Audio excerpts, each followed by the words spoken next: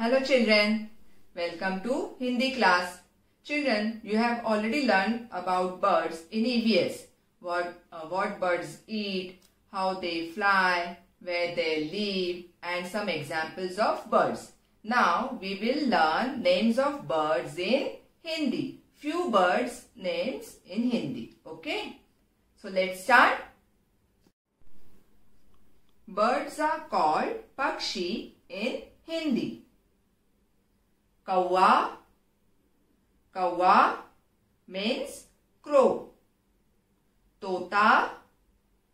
Tota means parrot. Kaudila kilkila. Kaudila kilkila means kingfisher. More. More means peacock. Murga. Murga means cock. Gaureya. Gaureya means sparrow. Hans. Hans means swan. Batak. Batak means duck. Kabutar. Kabutar means pigeon. Ullu. Ullu means owl. Garud. Garud means eagle. Bagula. Bagula means crane. Kawa. Kawa means crow.